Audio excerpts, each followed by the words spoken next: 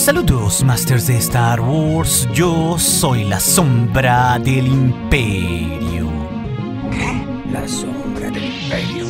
Hoy, Masters, es el día de Star Wars o el May the Fourth en inglés, y por eso se ha estrenado el volumen 2 de la serie animada de Star Wars Visions, que en esta temporada 2 nos ha traído, al igual que su entrega pasada, nueve historias animadas cortas, hechas por nueve estudios distintos, pero esta vez con creativos de diferentes partes del mundo como España, Chile o hasta de la India. Y es por eso, como es toda una tradición en el canal, que revisaremos en nuestro todo explicado el volumen 2 de esta serie de Visions, hablando de mis impresiones generales de los nueve cortos, con sus cosas más destacables y también algunos easter eggs o referencias, porque debo decir, todos los cortos son unas joyitas. Así que rankearé aquí un top 5 con las historias que más me gustaron.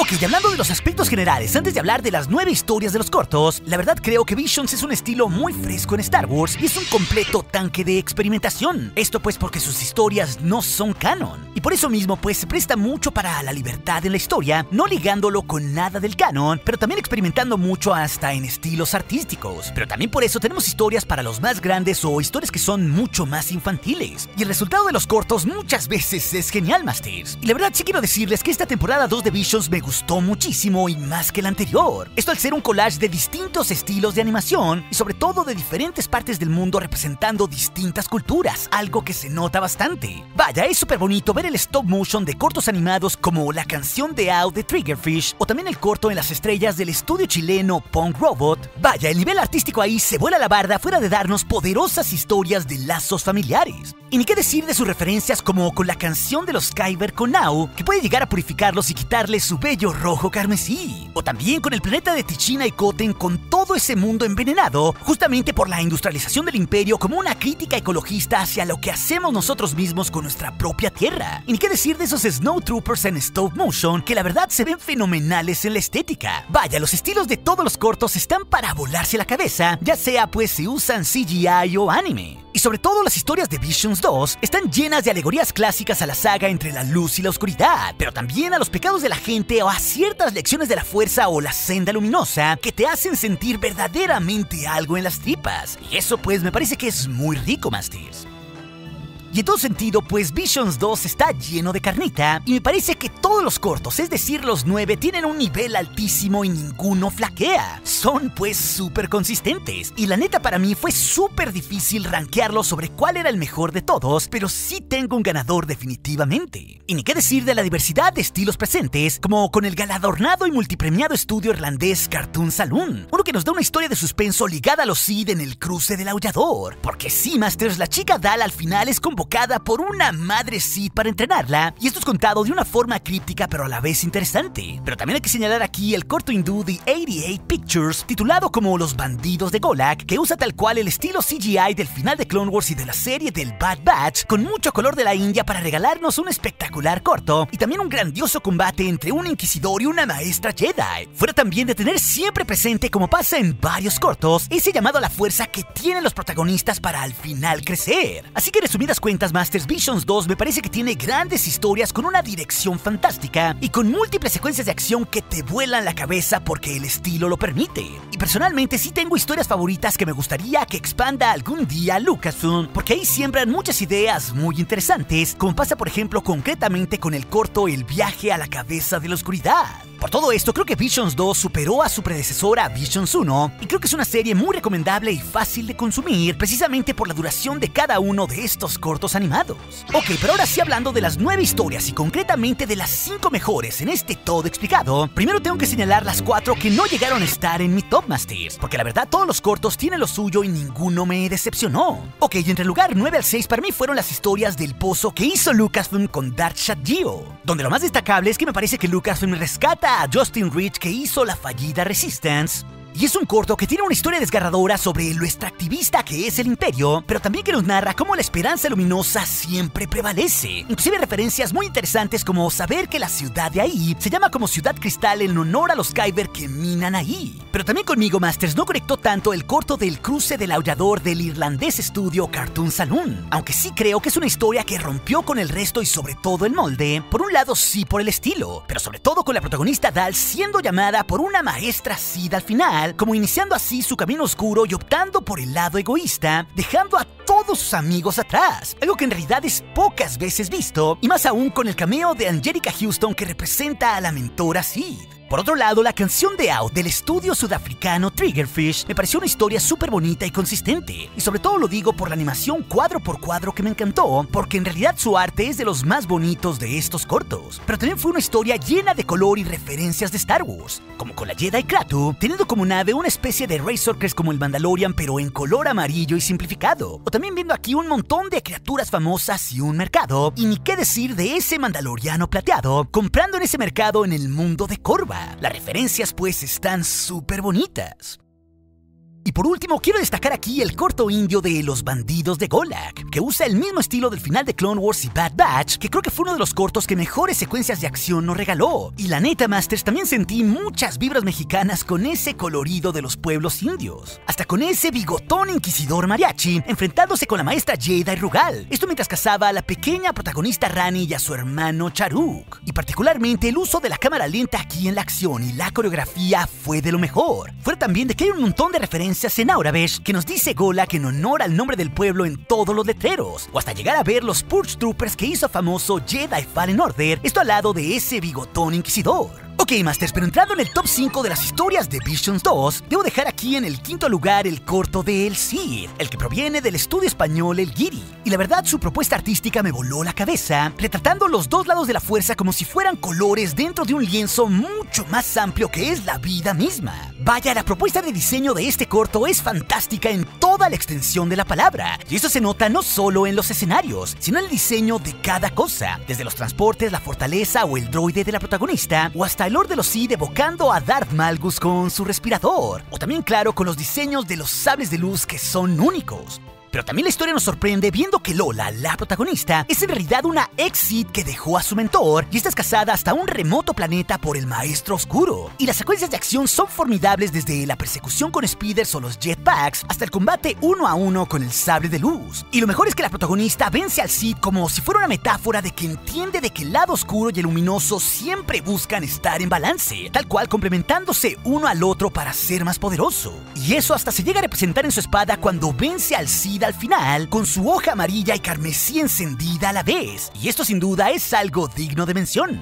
Es así que en cuarto lugar, Master, tenemos el corto en las estrellas del estudio chileno Punk Robot, que la verdad sí nos da una historia un poquito más infantil, pero que a la vez es un comic of age con una crítica naturalista que me gustó un chingo viendo cómo el imperio contamina su mundo. Tal cual evocando a como sabemos que el imperio en las historias del canon por todos lados contaminó distintos mundos desde Lothal hasta Kashyyyk. Y además me parece que el diseño del arte de este corto es fantástico por ser stop motion, y ahí el esfuerzo es al doble por el tiempo de dedicación que se necesita. Vaya, ver Snowtroopers, ATST o distintos ties como los Bombers, hechos en ese estilo tan particular en stop motion me encantó. Y más viendo que los protagonistas Tichina y Koten estaban hechos de basurita de los imperiales. Claro, la historia es buena no solo por haber una analogía con lo que pasó con los pueblos americanos tras la conquista, que fue igual de extractivista siglos atrás, sino que el lazo de hermandad es bellísimo entre Koten y Tichina, con el pequeño llevando todo a los límites, justamente al retar al imperio, para que sea así la fuerza lo que termine salvando a estos dos hermanos y a su planeta, justamente del tiránico imperio para que todo vuelva a florecer. Sin duda, Masters, esta es una historia que es un poema hacia Star Wars. Es así que en tercer lugar pongo la historia de la bailarina espía del estudio francés La Cachette ya que no solo nos da estampas de color con su estilo único, o grandes referencias como ese citripio que es usado como un maniquí por Loyi, justo la protagonista. O también mostrándonos ese droide KX del oficial imperial, que se ve bastante siniestro con sus ojos rojizos. O también con el maestro de la orquesta que dice la clásica frase de Star Wars de tengo un mal presentimiento sobre esto, tal cual cuando inicia la acción en el cabaret. Pero este corto representa muy bien la ocupación imperial en su planeta, como a su vez los alemanes hicieron con la Francia de la Segunda Guerra Mundial. Después de todo, no nos olvidemos que el imperio y los Stormtroopers fueron una poca evolución de lo que hicieron los alemanes en la guerra, puesto así por George Lucas. Así que aquí pues se siente mucho esa firma francesa de la ocupación. Pero también en este corto el estilo me gustó porque nos ofrece momentos artísticos, pero sobre todo y lo más brillante, Masters, es que amé la historia, porque sobre todo esta tiene muchísimo corazón. Porque en ella rápidamente descubrimos que el oficial imperial que va a ver el espectáculo de Loyi es en realidad su hijo perdido. Y eso claro es súper desgarrador porque años atrás se lo había arrebatado el imperio. Y lo mejor es que no solo su madre representa a la luz y el hijo imperial a la oscuridad y todas esas ideas de los Sith sobre el orden, sino que ella metafóricamente le abre los ojos a su hijo justo al final para que se dé cuenta cuál equivocado estaba siguiendo al imperio por haber sido criado lejos de ella. Vaya, creo que es una historia poderosísima de madre e hijo que evoca muchísimo a los sentimientos más clásicos de Star Wars sobre la familia. Y lo mejor claro es su final abierto sabiendo que Loyi puede rastrear y saber de su hijo donde quiera que él esté en esa galaxia muy muy lejana. Pero en el lugar 2, Masters, tenemos el corto Soy tu madre. Uno que es una singular puesta en escena del estudio inglés Artman, hecho por la polaca Magdalena Osinska. Y aquí, Masters, quiero resaltar el diseño infantil, pero también el cuadro por cuadro de este corto, porque la verdad, Masters, yo se conecté mucho con el diseño de este corto, pero también por su historia con ese niño que llevo adentro. Y esto se representa muy bien, como el hecho de la protagonista Annie se siente avergonzada de su desastrosa y caótica madre. Y esto se representa con mucha ironía, como seguramente nos pasó a alguno de nosotros en nuestra propia niñez, Masters. Pero a final de cuentas, lo rico de esto es que somos reflejos de nuestros propios padres, y eso también pues evoca muchísimo al Star Wars más clásico de todos, justo al de George Lucas. Porque hasta el título pues de este cortometraje evoca la revelación más grande de toda la saga que vimos en el Imperio Contraataca. Bueno, Masters, también en este corto no dejé de sentirme como DiCaprio señalando una y otra vez las referencias que veía. Como el hecho, por ejemplo, de ver por primera vez la ciudad Hanna en un contenido audiovisual, ganándole a la serie de Andor 2. Porque todo lo que sucede en la trama es justo en la capital de Chandrila, que a la postre sería la capital de la Nueva República y también la ciudad de la mítica Mon Mothma. Y por eso vemos tantas alegorías a pilotos rebeldes o naves, viendo inclusive también cascos rebeldes, X-Wings en miniatura o hasta T-16 que están por ahí por todos lados. Y por eso también hace tanto sentido que veamos una academia de vuelo y una carrera especial para la familia, donde se da ahí el regreso y un homenaje muy particular al mismísimo Wedge Antilles, regresando aquí la voz de su afamado actor Dennis Lawson, que no nos olvidemos que es el tío de Iwan McGregor en la vida real, Masters. Y en este sentido, personalmente creo que este corto y este estudio externo a Lucasfilm es el que personalmente creo que mejor tenían estudiada la estética y todo el canon de Star Wars. Y eso, Master, se siente muchísimo en cada plano que vemos. Desde el hecho de ver a múltiples Wookiees o hasta un Wookiee bebé, o varios speeders o naves reinterpretadas como la nave Naboo de Padme, pintada todo de negro durante la carrera, que avienta rayos verdes en la forma de pequeñas estrellas de la muerte en un completo absurdo. Vaya, creo que este corto tiene muchísimo humor infantil y también eso funciona porque eso también es Star Wars. O hasta está el enorme hecho que Annie y su madre sean Twi'leks y usen justo al final la movida Rylot que es su mundo natal, esto en el manejo de su destartalada nave para así ganar la carrera y todo más aún cerrando con la frase de yo soy tu madre. Así que creo pues que esta es una historia ligera para toda la familia pero con muchísimo corazón, Masters. Y por eso yo la pongo entre mis favoritas porque sí llega a los sentimientos más profundos que albergan a nuestro niño interior. Y finalmente, en primer lugar, tengo el corto coreano del estudio Mir Viaje a la Cabeza de la Oscuridad, con ese estilo anime que está para volarse la cabeza en todo sentido, Masters. Y por favor, Lucasfilm, no sé qué están pensando, pero denme más historias así. La neta, Masters, podrían hacer solo una temporada de historias del Jedi Tool y la piloto Ara, viajando por toda la galaxia en medio de la guerra Jedi y Sith. Una trama así sería fenomenal de ver. Y es algo que personalmente yo compraría un boleto a ciegas para ver una película así, ¿por qué no en anime?